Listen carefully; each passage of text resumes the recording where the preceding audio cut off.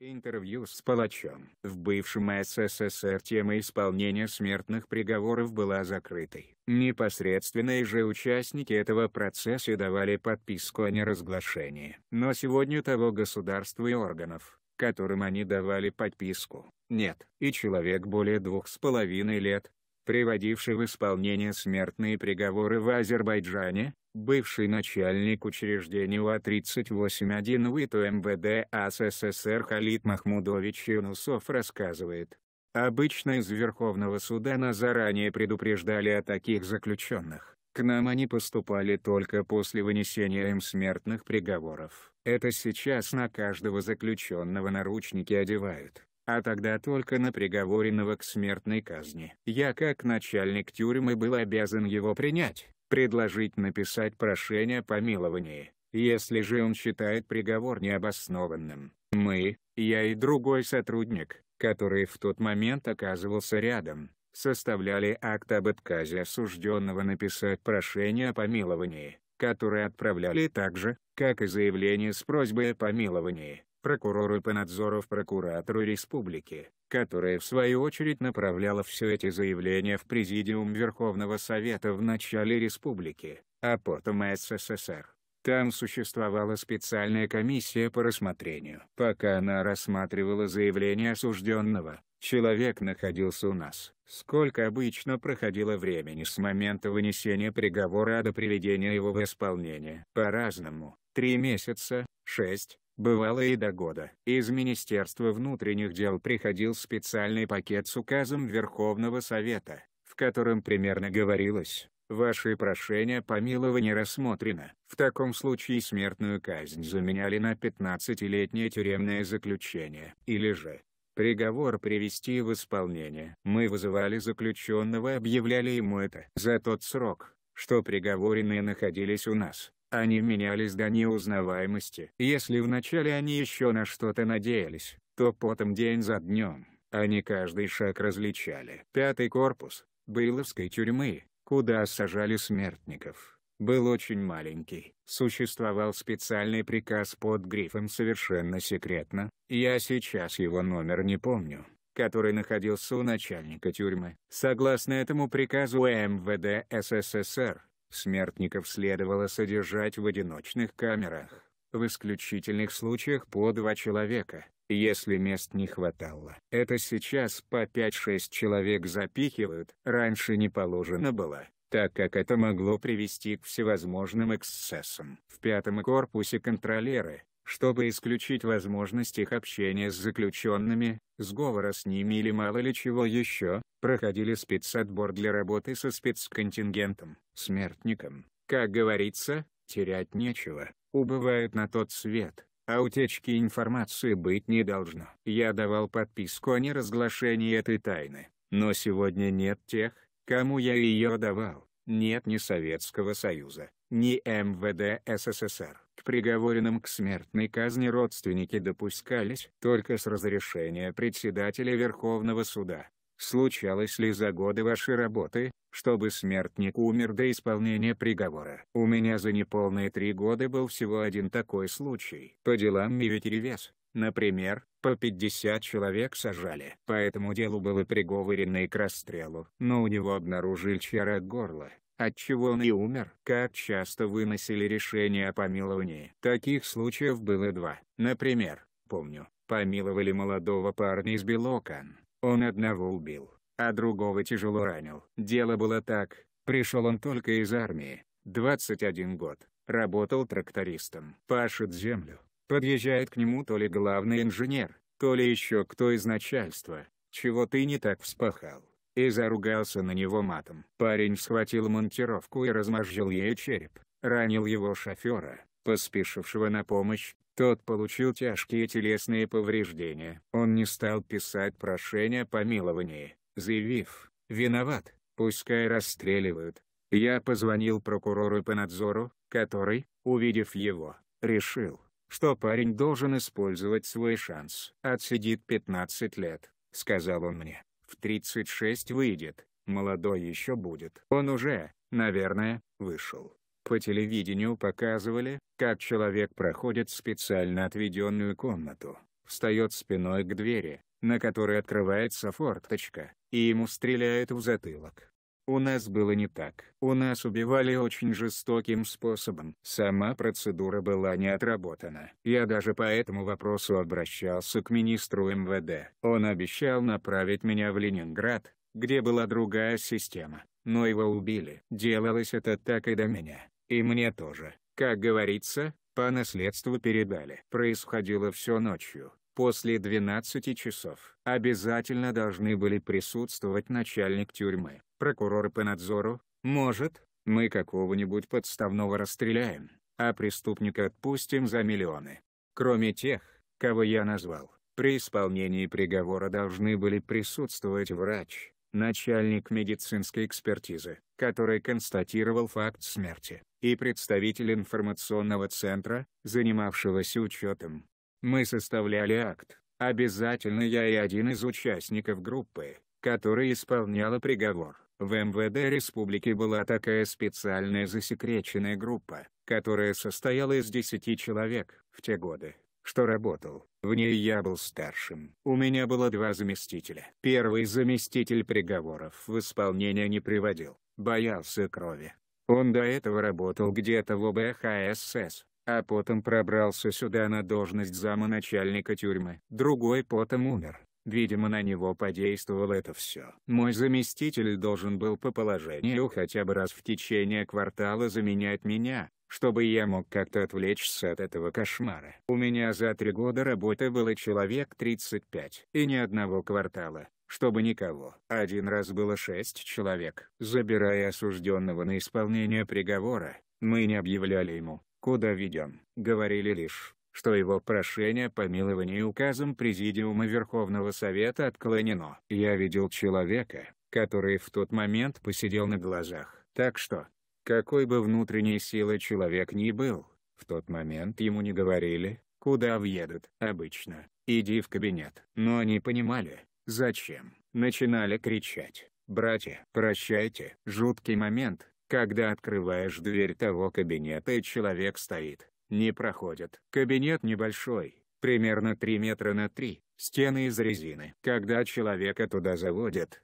он уже все понимает. Весь кабинет в крови. Он весь закрыт, наглухо. Только маленькая форточка. Говорят, даже когда барана связывают, он понимает зачем. Даже слезы на глазах бывают. Люди реагировали в тот момент по-разному. Бесхарактерные, безвольные сразу же падали. Нередко умирали до исполнения приговора от разрыва сердца. Были такие, которые сопротивлялись, приходилось сбивать с ног, скручивать руки, наручники одевать. Выстрел осуществлялся револьвером системы Наган почти в упор в левую затылочную часть головы в области левого уха, так как там расположены жизненно важные органы. Человек сразу же отключается. В вашей практике было, чтобы человек в тот момент уклонялся от пули. Нет, нас же было двое или трое. И потом надо же умеючи стрелять, чтобы он сразу умер. В фильмах встречается сцена, в которой приговоренный внешне спокойно становится на колени,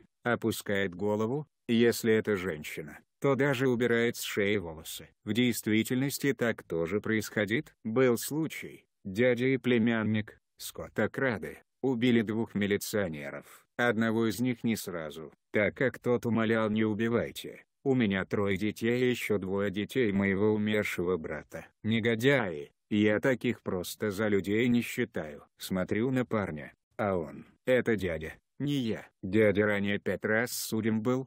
Здоровяк, у него шеи не было. Мы на руки не могли наручники надеть, такие запястья широкие. Однажды он, отжимаясь, под потолком повис и тревогу поднял. Стражник открыл камеру, он бросился на него. Тогда мы на него вчетвером навалились. В общем, завели парня в кабинет, а он никак не хотел на колено становиться.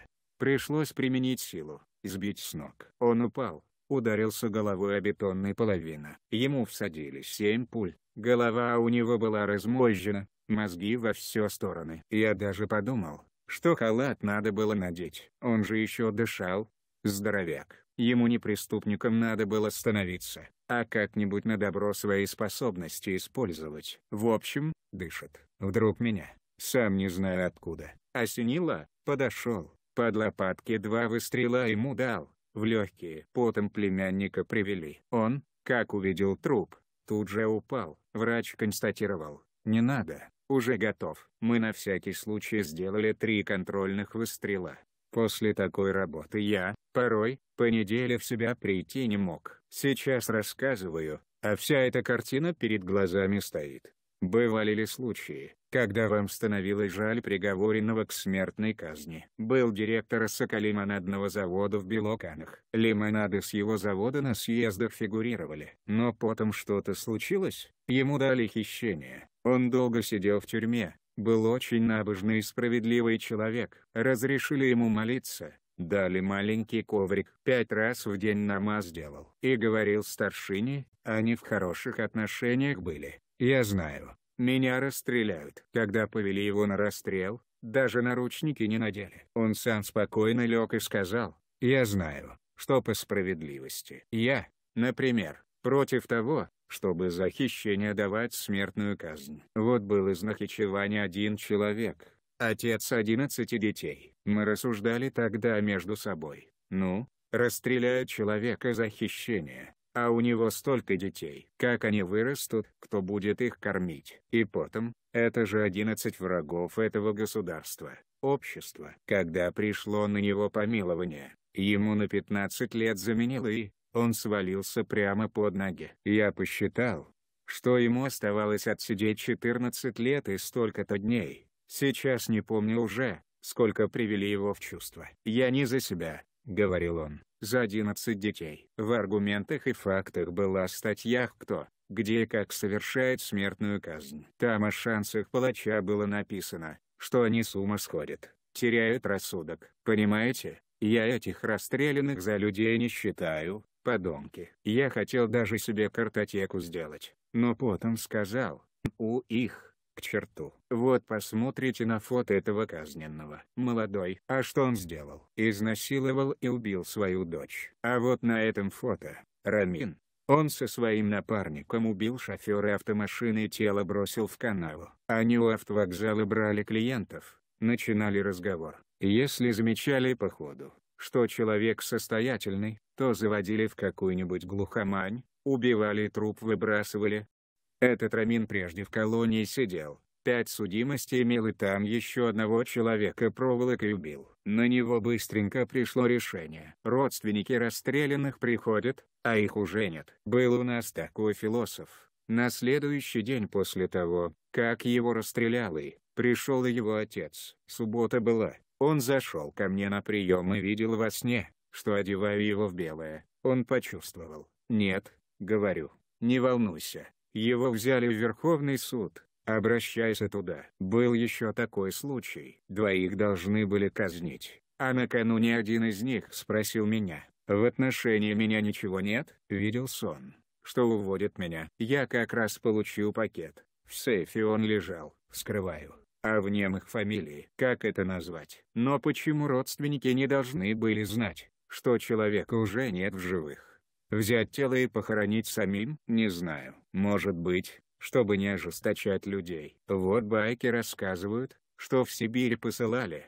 На рудники. Это надежда какая-то. Но место захоронения они говорили. А где оно было? 20 лет уже прошло с тех пор. Тогда было рядом с одним из кладбищ в 40-50 километрах от Баку. А что сделал философ? Он преподавал в одном из районов, познакомился поближе со своей ученицей-десятиклассницей, обещал жениться, отвезти в Баку и фактически с ней сожительствовал. А через какое-то время она услышала, что он сватается к другой девушке, сказала, что пойдет жаловаться на него в портком. Тогда он взял гантель, завел ее к Ганлыгель, убил на берегу озера и бросил труп в воду. Он долго отпирался, но потом ему доказали. Умудрился в камеру томик Ленина пронести. И скажу, у него сзади сила была. Два раза получал из Москвы телеграммы о приостановлении исполнения приговора. Вот этот. Опять фото. Смотрите, молодой парень, уроженец Генджи, 55-го года рождения,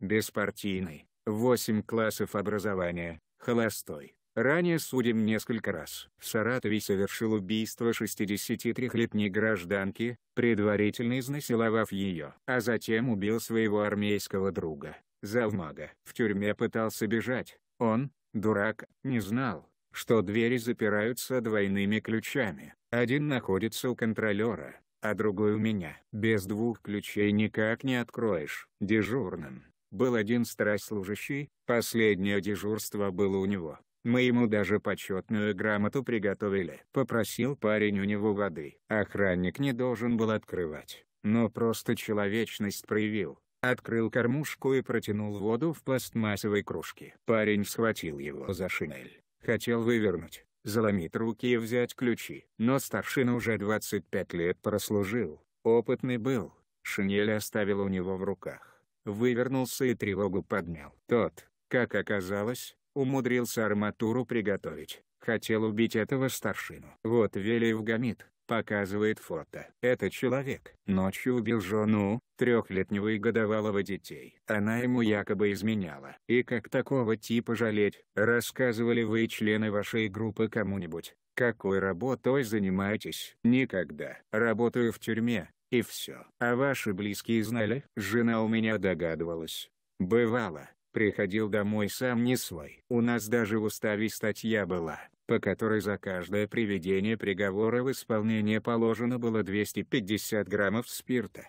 Я вам что скажу, я не до этого, ни после даже курицу не резал, не могу. А почему вы пошли на эту работу? Понимаете, назначили. Я шесть лет до этого ловил взяточников и надоело, только врагов себе наживал. Начальство, зная мою работоспособность и принципиальность, отправила меня в отдел спекуляции сельского хозяйства. Меня кидали на каких-то тузов моими руками гробить их. Ну, одного, второго я угроблю, а потом мне автоаварию устроит, и все. За министра внутренних дел Азербайджана Кизимов, курировавший тогда эту область, отправляя меня уже на эту работу, спросила «А ты не боишься?» Я ответила «Я на железной дороге работал, там трупы людей приходилось собирать, фотографировать, бывало по кускам собирал. Он знаете что сказал? Это мертвых людей. Ты молодой еще. Мне 35 лет было. А работа как в армии. Кто послушный, на того и грузят. Это жизнь такая. Я говорю, а что,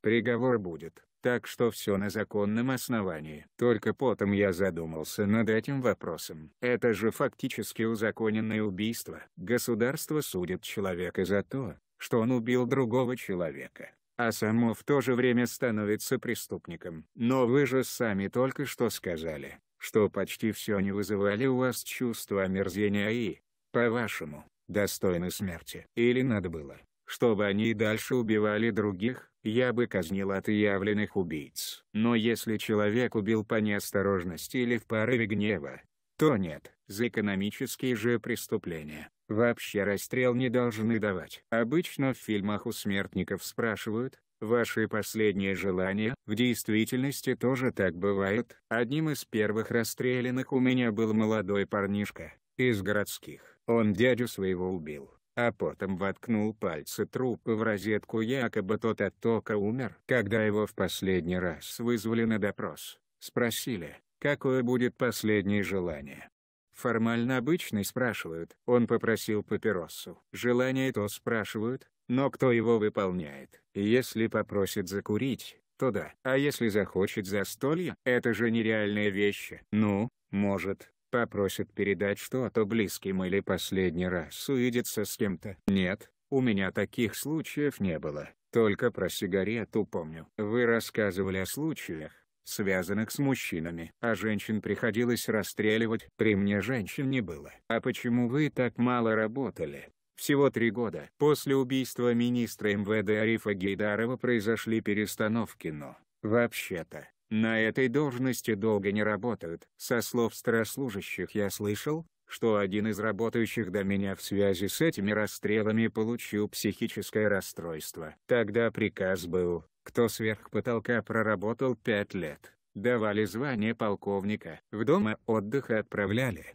Были такие в Подмосковье, но лично я там ни разу не был. Начальник тюрьмы обязательно должен был принимать участие в приведении в исполнение смертного приговора или это только вам было поручено? По уставу начальник должен был быть обязательно. А как вы сами все так и думаете, есть какие-то особые качества, которые требуются людям на этой работе? Ведь не каждый же сумеет. Над этим я тогда не задумывался. Потом уже понял, что это узаконенное убийство. Ведь и Коран, и Библия говорят, жизнь дана Богом и Богом отбирается. Согласен, Совет Европы правильно требует ограничиться пожизненным заключением. Но это же нужно обеспечить. Бывали в вашей практике случаи, когда только после исполнения приговора становилось известно, что казнили невиновного. В моей не было. Вообще, в Азербайджане я о таком не слышал. Судобные ошибки или фальсификации дел были. Про Чикатило читал,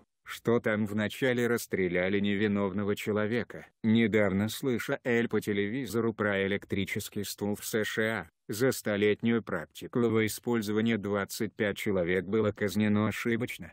Нет, лучше отпустить 100 виновных чем осудить невиновного. Может приговоренный к смертной казни попасть под амнистию? Нет, у нас система другая. В литературных произведениях и кинофильмах перед приведением приговора в исполнение осужденному дают возможность встретиться с млой или священником, который наставляет его, отпускает ему грехи. Это практиковалось. Ну что вы, люди в те времена, когда свадьбу справляли или поминки, боялись мулу позвать, из партии могли исключить. А насчет литературы. В той же статье в аргументах и фактах писали, теряют рассудок и палачи. Психиатры утверждают, что редкий человек может остаться в своем уме после четвертого по счету убийства. Так что исполнителя приговора тоже ждет жестокое наказание. А вот у меня 35 было. Пишут еще, что тем, кто должен привести приговор в исполнение, не разрешается общаться со смертниками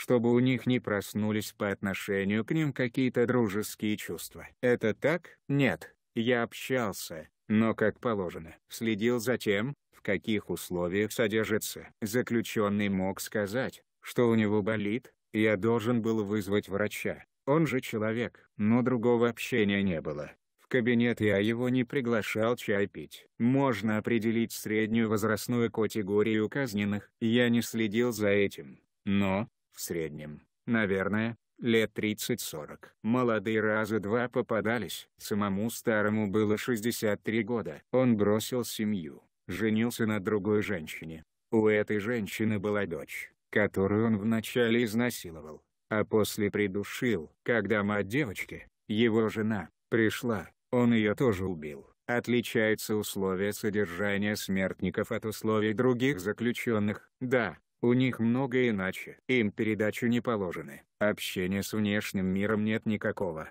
Гулять не выводят. Только раз в сутки в туалет. И все. Вы сказали, что согласны назвать для печати свою фамилию. Вы не думаете, что, может, ваши дети не захотят, чтобы об этом кто-нибудь узнал? Дети, как говорится, за отца не отвечают. И отец за детей не отвечает. Это мое. Эту школу я уже прошел. Эту жизнь уже прожил. Ее уже никто у меня не отнимет. Понимаете, это было. Зачем я должен скрывать? Я считаю, что каждый нормальный человек знает, где и что делается, или хотя бы должен знать. Зачем людей обманывать? Пусть правду знают. А на оплату эта работа влияла? Да, платили больше. По 100 рублей членам группы и по 150 рублей непосредственному исполнителю раз в квартал. Вы, наверное, не верите в существование загробного мира, бессмертие души, поскольку видели 35 смертей. У вас после этого изменилось отношение к человеческой жизни, понимаете? Когда перед исполнением читаешь смертный приговор,